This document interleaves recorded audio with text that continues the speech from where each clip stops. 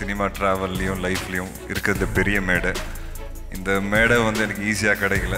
அதுதான் வந்து இப்போ நான் ரீகேப்பாக பார்த்தேன். என்ன வந்து இது வரைக்கும் கொண்டு வந்த அத்தனை பேரும் இங்கே இருக்காங்க. ஸோ எல்லாருக்குமே ரொம்ப ரொம்ப நன்றி. அவங்க யாருமே என்ன நம்பலைன்னா நான் இந்த ஸ்டேஜில் எழுந்திருக்க மாட்டேன். பெரிய தூணாக கை கொடுத்த உதய உதய அண்ணா. சார் வரமாட்டேங்குது. அண்ணா தான் வருது. என்கிட்ட வந்து டுவெண்ட்டி மினிட்ஸ் தான் வருவேன். ஆடியோ லான்ச்சுக்கு ட்ரெய்லர் லான்ச்சுக்கு அதுக்கு மேலே என்னை உட்கார வைக்காதன்னு கேட்டார்.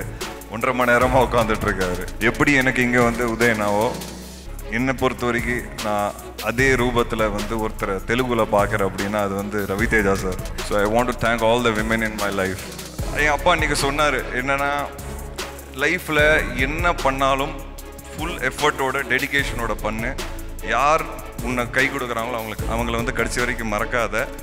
And just give you hundred percent இப்போ நீ வேலையில் இருக்கிற அங்கே போய் ஹண்ட்ரட் பர்சன்ட் எஃபர்ட் கொடு. நாளைக்கு என்ன கிடைக்குதோ அதை வச்சு என்ன பண்ணலான்னு யோசி. இப்போது நான் லால் சலாம் படத்தில் ஒரு ஸ்போர்ட்ஸ் கிரிக்கெட்டராக பண்ணுறேன் ரஜினி சார் கூட நடிக்கிறேன். அதான் இந்த மேடை வந்து என் வாழ்க்கையில் இருக்கிறதுலே இது வரைக்கும் சினிமா ட்ராவல்லையும் லைஃப்லேயும் இருக்கிறதுல பெரிய மேடை. இந்த மேடை வந்து எனக்கு ஈஸியாக கிடைக்கல. அதுதான் வந்து இப்போ நான் ரீகேப்பாக பார்த்தேன்.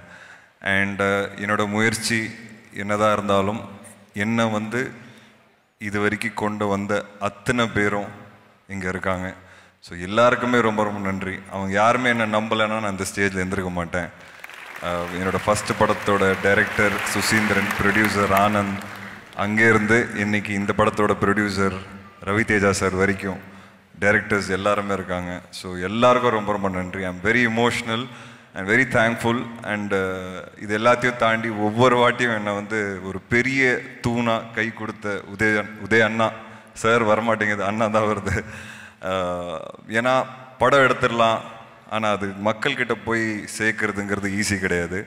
அந்த விதத்தில் வந்து உதயனா எனக்கு வந்து குலநெறி கூட்டம்லேருந்து பழக்கம். நான் வந்து அவர் ஆஃபீஸில் போய் அவரை ஃபஸ்ட் டைம் பார்த்தேன். அப்போத்துலேருந்து இன்னைக்கு வரைக்கும் என்னை வந்து ஒரு பெரிய சப்போர்ட்டாக நிற்கிறாரு என்கிட்ட வந்து டுவெண்ட்டி மினிட்ஸ் தான் வருவேன். ஆடியோ லான்ச்சுக்கு ட்ரெய்லர் லான்ச்சுக்கு அதுக்கு மேலே என்னை உட்கார வைக்காதன்னு கேட்டார். ஒன்றரை மணி நேரமாக உட்காந்துட்டு இருக்காரு so I think that is the relationship we share and நான் எந்த மேடையில் எவ்வளோ சொன்னாலும் அது பத்தாது. அவர் வந்து எப்படி என்னை வந்து ஃபஸ்ட்டு நான் அவரை மீட் பண்ணதுலேருந்து எப்படி என்னை பார்த்தாரோ இன்னைக்கு வரைக்கும் ஒரு தம்பியாக பார்த்து என்னை வந்து அவ்வளோ கை கொடுக்குறாரு. So I'm really really thankful Uday நம்ம entire family and my friends are all thankful to you and இது மறக்கவே மாட்டேன். எப்படி எனக்கு இங்கே வந்து உதயனாவோ என்னை பொறுத்த வரைக்கும் நான் அதே ரூபத்தில் வந்து ஒருத்தரை தெலுங்குல பார்க்குறேன் அப்படின்னா அது வந்து ரவி தேஜா சார். ஏன் தெலுங்குல எனக்கு அவ்வளோ பழக்கம் யாரோடையும் இல்லை. அவரை போய் மீட் பண்ணேன். என் ஒய்ஃப் ஜுவாலா அவங்களோட ஃப்ரெண்ட் ஆக்சுவலாக அவங்களோட அவரோட கம்பெனியில் வந்து எக்ஸிக்யூட்டிவ் ப்ரொடியூசரை ஒர்க் பண்ணுறாங்க ஸோ அவங்க தான் என்னை இன்ட்ரடியூஸ் பண்ணாங்க. அது என்னன்னு தெரியல ஒரே மீட்டிங்கில் வந்து ரொம்ப பாசிட்டிவாக இருந்தது. பயங்கர ஃப்ரெண்ட்லியாக இருந்தது. உடனே நம்பினார் என்ன? அப்போ எஃப்ஐஆர் கூட ரிலீஸ் ஆகலை. ஸோ சார் இந்த மாதிரி ஒரு படம் இருக்குது எஃப்ஐஆர் நீங்கள் பண்ணால் நல்லாயிருக்கும் எனக்கு உங்கள் ராட்சசன்லாம் ரொம்ப பிடிக்கும் அப்படின்னு சொன்னார். அப்புறம் ரெண்டு மூணு படங்கள் பேர் சொன்னார். இதெல்லாம் பா சார் என் படம்லாம் பார்த்துருக்கீங்களா? அப்படின்னு கேட்டேன் நான். இல்லை இல்லை நான் ஐ ரியலி லைக் கான்டென்ட் நான் சொன்னேன் சார் நான் மாஸ் ஹீரோ ஆகணும்னு ஆசைப்பட்றேன் அப்படின்னேன் அவர் நான் கான்டென்ட் பண்ணணும்னு ஆசைப்பட்றேன் அப்படின்னாரு. ஸோ அப்படி தான் கான்வர்சேஷன் ஸ்டார்ட் ஆச்சு. அப்புறம் என்ன அடுத்தது பண்ணுறேன் அப்படின்னாரு. அப்போ நான் சொன்னேன் இந்த மாதிரி ஒரு படம் பண்ணுறேன் அவர் எஃப்ஐஆர் படம் பார்த்தாரு மோகன்தாஸ் பார்த்தாரு. அவருக்கு ரொம்ப பிடிச்சது. அதுக்கப்புறம் இந்த மாதிரி ஒரு கதை இருக்குது சொன்ன உடனே நான் ப்ரொடியூஸ் பண்ணுறேன் அப்படின்னாரு. ஸோ எல்லாமே வந்து எனக்கு ஒரு ட்ரீம் மாதிரி நடந்தது. அண்ட் ரொம்ப ஃபாஸ்ட்டாக நடந்தது. அண்ட் இன்னைக்கு இந்த படம் வந்து இந்த அளவுக்கு வந்திருக்குன்னா அது ரவி சாரோட சப்போர்ட் இல்லாமல் முடிவே முடிஞ்சிருக்காது என்னால். ஸோ தேங்க்யூ ரவி சார் என்னை பொறுத்த வரைக்கும் இங்கே நிறைய பேர் என்னை நிறைய சப்போர்ட் பண்ணியிருக்காங்க. பட் நான் பெருசாக பண்ணணும் அப்படின்னு சொல்லும்போது ஒரு மார்க்கெட் ஒரு பட்ஜெட் அப்படின்னு ஒரு ரெஸ்ட்ரிக்ஷன் ஒன்று இருக்கும். அதை நான் யாரையும் தப்பு சொல்ல. அதுதான் சினிமா அதுதான் நான் புரிஞ்சுக்கிட்டேன் ப பதிமூணு வருஷத்தில். அவர்கிட்ட நான் சொல்லும்போது சார் என் பட்ஜெட்டை மீறி பண்ணணும் சார் இது அப்படின்னு சொன்னேன். No problem you take care அப்படின்ட்டாரு. ஒன்றுமே கேட்கலங்க இது வரைக்கும் என்கிட்ட ஒரு வார்த்தை என்ன பட்ஜெட் எப்போ ரிலீஸு என்ன பண்ணுற என்ன கான்டென்ட் ஏதாவது காமி? அப்படின்னு ஒன்றுமே கேட்டது கிடையாது. என்னை பொறுத்த வரைக்கும் ஒரு மேஜிக் மாதிரி தான் எனக்கு இருக்குது அவ்வளோ நம்பியிருக்காரு என்ன ஸோ என்ன என்னை பொறுத்த வரைக்கும் he's a brother to me from the Telugu industry thank you Ravi sir I never forget what you're doing for me என் லைஃப்பில் முக்கியமான விமென் பற்றி நான் கண்டிப்பாக பேசணும் இங்கே. ஏன்னா நான் இங்கே வந்திருக்கேன். இன்றைக்கி ஒரு சொசைட்டியில் ஏதோ நாலு பேருக்கு என்ன தெரியுது அப்படின்னா என் வாழ்க்கையில் எனக்கு தெரிஞ்சு எல்லாரோட வாழ்க்கையில் பெண்கள் வந்து முக்கியமான காரணமாக இருப்பாங்க. ஸோ என்னை பொறுத்த வரைக்கும் என் லைஃப்பில் ஃபஸ்ட்டு என் அம்மா ரொம்ப முக்கியமான காரணம் நான் வந்து இங்கே நிற்கிறேன் அப்படின்னு. அதுக்கப்புறம் என்னோட சிஸ்டர் அவங்க வந்து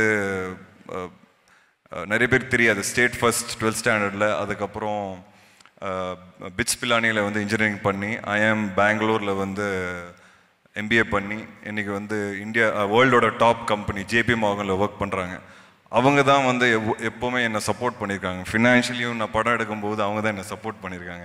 ஸோ அவங்க இல்லைன்னா என் லைஃப்பில் நான் இங்கே இருந்திருக்க மாட்டேன். அவங்களுக்கு ரொம்ப நன்றி. அப்புறம் என்னோட பையனோட அம்மாவுக்கு ரொம்ப நன்றி. அண்ட் இன்றைக்கி வந்து என்னோட ஒய்ஃப் ஜுவாலா. ஸோ இவங்க எல்லாருமே வந்து என் லைஃப்பில் மிகப்பெரிய பங்கு வந்து they've given me a very big you know strength and role in my life to be standing on the stage so I want to thank all the women in my life போகிறதுக்கு முன்னாடி ஒரே ஒரு உண்மையான சம்பவம் என் லைஃப்லேருந்து நான் சொல்லணும்னு ஆசைப்பட்றேன். இது உண்மையாகவே நடந்தது. நான் வந்து பத்து வருஷம் கிரிக்கெட் ஆடிருக்கேன் ஸோ என் காலில் அடிப்பட்டதுனால கிரிக்கெட் விட்டுட்டேன். ரொம்ப அப்செட்டாக இருந்தேன். என் அப்பா கிட்டே போய் சொன்னேன் தெரில ஏன் நான் கிரிக்கெட் ஆடினேன்? அப்படிங்கிறது. It was very painful I stop வாட்சிங் கிரிக்கெட் கிரிக்கெட் பார்க்குறத நிப்பாட்டிட்டேன். அதுக்கப்புறம் சினிமா முயற்சி ஆரம்பித்தேன் ஆறு வருஷம். Uh, சினிமாவும் கிடைக்கல. விட்டுட்டு வேலைக்கு போய் சேர்ந்துட்டேன். பயங்கர அப்செட்டு என்னடா வேலையில் வந்து உட்காந்துட்டோமே கம்ப்யூட்டர் மொழி தான் நம்ம ஆசையே கிடையாது அப்படின்ட்டு. அப்போ என் ஃப்ரெண்டு வந்து கிரிக்கெட் மேட்ச் ஒன்று நடந்தது சென்னையில். இன்டர்நேஷ்னல் மேட்ச் அது வந்து போய் பார்க்கலான்னு சொன்னால் நான் வந்து இல்லை முடியாது அப்படின்னு சொன்னேன். இல்லை இல்லை வா போகலான்னு ஃபோர்ஸ் பண்ணி கூப்பிட்டு போனான். அண்ட் அங்கே போய் உள்ளே என்டர் ஆகும்போது ராபின் உத்தப்பா வந்து ஒரு சிக்ஸ் அடித்தான் அப்போ பார்த்துட்டு ஒரு மாதிரி அப்செட் ஆகிட்டேன் ஏன்னா அவன் என்னோட ஜூனியர் நான் இரு இருந்திருக்கணுமே அங்கே அப்படின்னு. கொஞ்ச நேரம் போய் அப்படியே உட்காந்தேன் உட்காந்துட்டு ரொம்ப அப்செட்டாக அப்படியே மேட்ச் பார்த்துட்டு இருந்தேன் பின்னாடி ஒரே சத்தம். என்னன்னு திரும்பி பார்த்தா ரஜினி சார் வந்து ஃபேமிலியோடு வந்திருக்காரு. அண்டு முன்னாடி பார்த்தா கிரிக்கெட் அங்கேயும் நான் ஃபெயிலியரு பின்னாடி திரும்பி பார்த்தா சினிமா அங்கேயும் நான் ஃபெயிலியர் எதுவுமே இல்லை அப்படின்னு சொல்லி அடுத்து டூ செக் டூ மினிட்ஸ் தான் இங்கேருந்து கிளம்பிட்டேன் நான். ரொம்ப அப்செட் ஆகிட்டேன் வீட்டுக்கு போய் எங்கள் அப்பா முன்னாடி அழுவ ஆரம்பிச்சிட்டேன். என்னாச்சு? அப்படின்னாரு. இல்லை இந்த மாதிரி தெரில எனக்கு லைஃப் நான் எம் ஃபெயிலியர் அப்படின்னு. I think I making making you proud அப்பா. தேங்க்யூ ஸோ மச் இது என் அப்பா அன்றைக்கி சொன்னார் என்னென்னா லைஃப்பில் என்ன பண்ணாலும் ஃபுல் எஃபர்ட்டோட டெடிகேஷனோட பண்ணு. யார் உன்னை கை கொடுக்குறாங்களோ அவங்களுக்கு அவங்கள வந்து கடைசி வரைக்கும் மறக்காத. And just give you hundred percent இப்போ நீ வேலையில் இருக்கிற அங்கே போய் ஹண்ட்ரட் பர்சன்ட் எஃபர்ட் கொடு. நாளைக்கு என்ன கிடைக்குதோ அதை வச்சு என்ன பண்ணலான்னு யோசி. அன்னைக்கு அப்பா சொன்ன ஒரு விஷயந்தான் இப்போது நான் லால் சலாம் படத்தில் ஒரு ஸ்போர்ட்ஸ் கிரிக்கெட்டராக பண்ணுறேன் ரஜினி சார் கூட நடிக்கிறேன். இதுக்கு மேலே எனக்கு என்ன சொல்கிறேன்னு தெரில I am thankful to everyone thank you so much